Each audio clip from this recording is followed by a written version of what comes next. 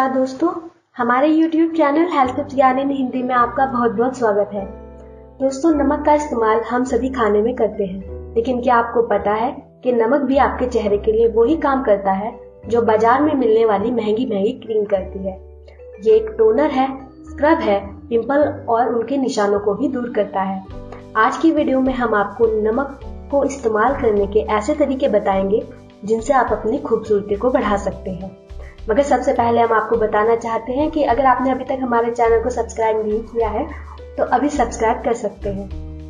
तो अब जानते हैं नमक से सुंदरता बढ़ाने के उपाय।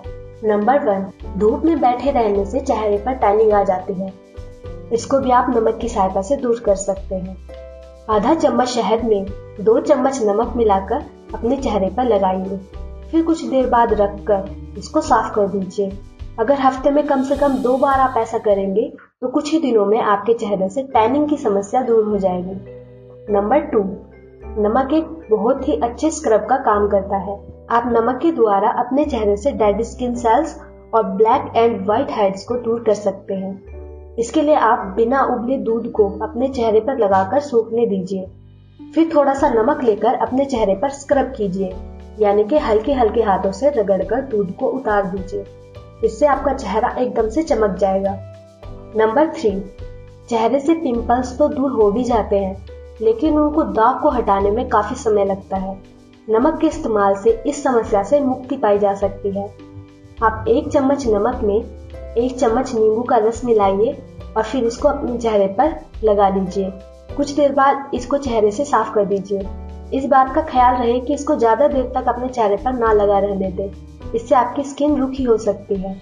आप इस प्रयोग को करेंगे तो कुछ ही दिनों में आपके चेहरे से पिंपल के निशान चले जाएँगे। नंबर फोर, नमक एक बेहतरीन टोनर का काम भी करता है। इससे आप अपने चेहरे से एक्स्ट्रा ऑयल हटा सकते हैं और अपनी त्वचा को अंदर तक साफ़ कर सकते हैं। इसके लिए आपको करना सिर्फ़ इतना है कि एक कप पानी में एक चम्मच नमक मिला लें और फिर इसको एक स्प्रे बॉटल में भर लें।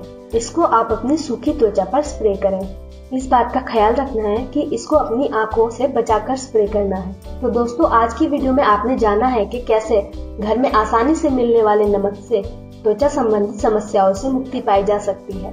बस आपको इस बात का ख्याल रखना है कि आपको इसे अपनी आँखों से और त्वचा पर अगर कहीं कट या चोट आदि लगी हो तो उससे बचाकर इस्तेमाल करना है।